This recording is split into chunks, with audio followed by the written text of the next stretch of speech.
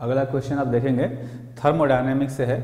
बताया गया under an adiabatic process the volume of an ideal gas gets doubled consequently, the mean collision time between the gas molecules changes from tau 1 to tau 2 दो collision के बीच में जो time gap होता है, उसको हम लोग रिलैक्सेशन टाइम भी बोलते हैं। तो रिलैक्सेशन टाइम का जो है यहाँ पर रेशियो बताना है। कहा गया if C P by C V is equal to gamma for this gas then a good estimate for tau two by tau one मतलब फाइनल रिलैक्सेशन टाइम और इनिशियल रिलैक्सेशन टाइम का रेशियो बताना है ठीक? तो ये जो रिलैक्सेशन टाइम होता है, ये इसके लिए एक फॉर्मूला होता है। उस फॉर्मूले के हिसाब से volume divided by under root temperature इसके प्रोपोर्शनल होता है रिलैक्सेशन टाइम ठीक? चूँकि एडियाबेटिक प्रोसेस है तो एडियाबेटिक प्रोसेस में जो प्रोसेस इक्वेशन होता है, ये होता है टेम्परेचर और वॉल्यूम का relation relation T V power gamma minus one is equal to constant है ना?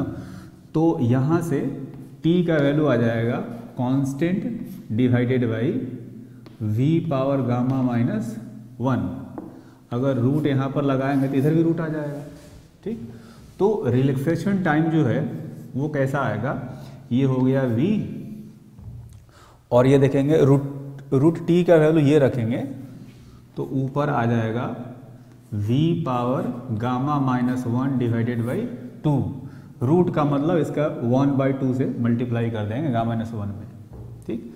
तो रिलैक्सेशन टाइम आया v power one plus gamma minus one by two, यानी कि जो है रिलैक्सेशन टाइम हो गया v power gamma plus one divided by two तो ये वॉल्यूम पर इस तरह से डिपेंडेंट है। अब कहा गया कि जो वॉल्यूम है, वो डबल हो गया है।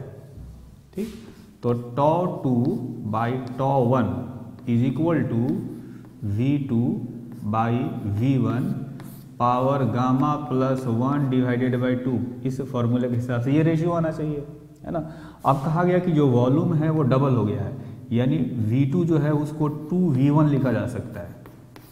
Power gamma plus one divided by two तो V1 V1 कैंसिल ये हो गया two power gamma plus one divided by two, है ना? तो रिलैक्सेशन टाइम का जो रेशियो है वो एक्चुअली में यह आया two power gamma plus one divided by two है ना? ऐसा देखेंगे किसी ऑप्शन में नहीं है यहाँ पर, ठीक है?